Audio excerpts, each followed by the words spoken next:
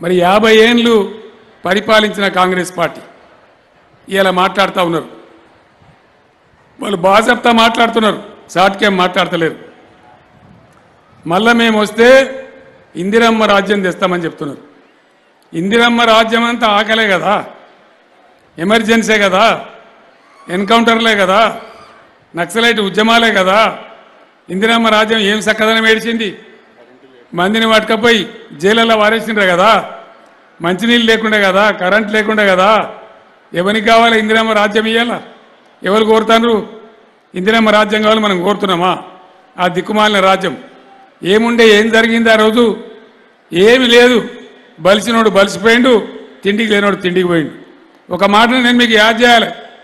ఇందిరమ్మ రాజ్యం అంత చక్కదనం ఉంటే ఎన్టీ రామారావు ఎందుకు పార్టీ పెట్టవలసి వచ్చింది? రెండు రూపాయల కిలో బియ్యం ఎందుకు ఇవ్వాల్సి వచ్చింది? మాడిన కడుపులున్నాయని ఎండుతున్న డొక్కలున్నాయని ఆనాడు రెండు రూపాయల కిలో బియ్యం పెట్టవలసి వచ్చింది. మీ అందరికి తెలుసు. మరి ఎందుకు పెట్టవలసి వచ్చింది? ఎన్ని రాజ్యం చక్కదనం ఉంటే ఎన్టీ రామారావు అనేవాడు పార్టీ ఎందుకు పెట్టిండండి మనం ఆలోచన చేయాలి. నేను అందుకే ప్రజాస్వామ్య పరిణతితోని మీ గ్రామాలలో చర్చించి ఈ నిర్ణయాలు చేయమని మిమ్మల్ని కోరుతా ఉన్నా. ఇవాళ కాంగ్రెస్ నాయకులు చెప్తున్నారు. కేసీఆర్కి ఎక్కడ పని లేదు. ప్రజలు కట్టిన ట్యాక్సులు పన్నులన్నీ కూడా రైతు బంధు ఇచ్చి వేస్ట్ చేస్తా ఉన్నారు రైతు బంధు వేస్తానండి రైతు బంధు వేస్తా ఉండా రైతు బంధు ఉండా ఇక్కడ కడియంసీఆర్ గెలవాలి. రైతు బంధు ఉండుడే కాదు. కడియంసీఆర్ గెలిస్తే గెలిస్తే పదివేలున్న రైతు బంధు పదహారు వేలు అయిద్దని చెప్పి నేను మనవి చేస్తా ఉన్నాను అట్లనే పిసిసి ప్రెసిడెంట్ మాట్లాడుతుండు. కేసీఆర్కి ఆడ పని లేదు. ఇరవై నాలుగు గంటలు కరెంటు వట్టిగా ఇచ్చి పైసలని దుబారా ఎత్తున్నారు మాట్లాడుతుంది అది ఇయ్యద్దట.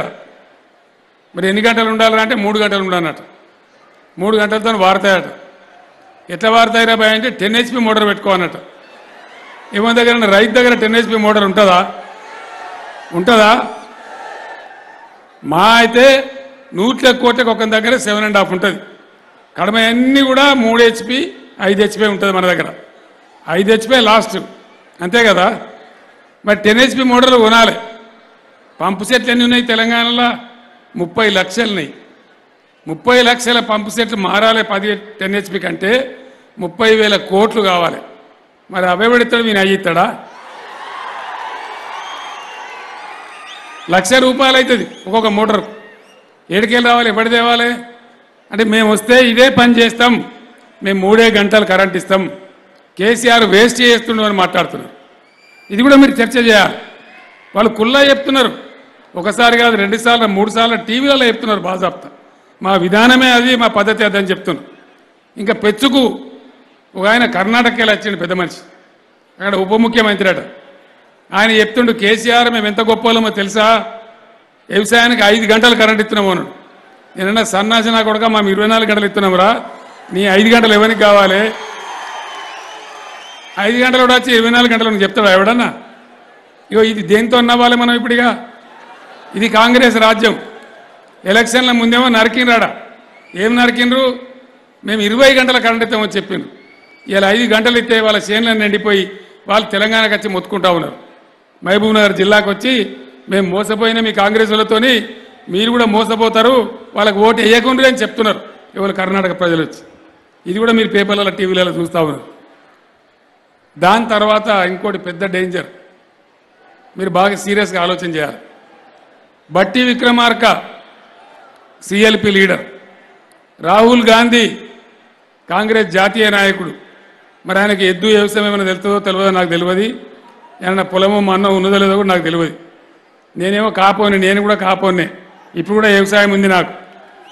వాళ్ళు చెప్తున్నారు కాంగ్రెస్కు అధికారం వస్తే ధరని తీసి బంగాళాఖాతంలో ఇస్తారట మరి ఏం పెడతారు రాబాయ్ అంటే భూమాత పెడతామంటాడు అది భూమాతనా భూమేతనా?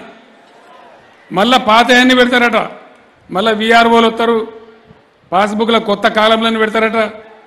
ఇవన్నీ కూడా చెప్తా ఉన్నారు. మీరు ఒక్క మాట ఆలోచన చేయాలి మేమేం చేసినాం? బీఆర్ఎస్ గవర్నమెంటు మేము కూడా రైతులే కాబట్టి రైతుల బాధలు మాకు తెలుసు.